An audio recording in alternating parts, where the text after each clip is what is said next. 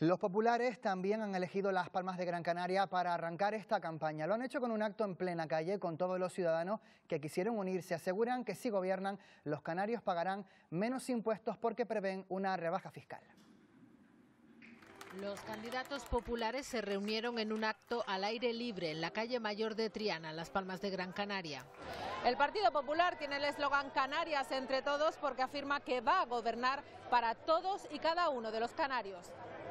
Afirman que si gobiernan las calles estarán limpias y habrá mayor presencia policial. Yo quiero ser la alcaldesa para recuperar la bandera azul de la playa de las canteras, que no se puede haber perdido.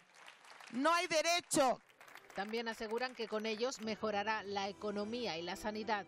Estoy sumamente preparado para ser el próximo presidente del gobierno de Canarias. Lo estoy. Y lo estoy porque cuento con un gran equipo.